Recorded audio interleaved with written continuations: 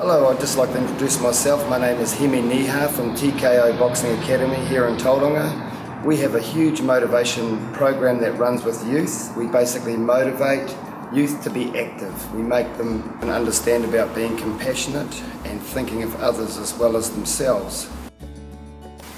Our motivation program in here teaches young boys and girls to work together honestly without hurting each other and giving it a good go, understanding the dynamics of boxing, also the importance of working hard for burning calories for their own good well-being.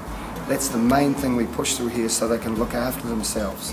Not physically with their fists, it's about their food intake so they become healthier and can live longer, but they all end up understanding it and that's important to me.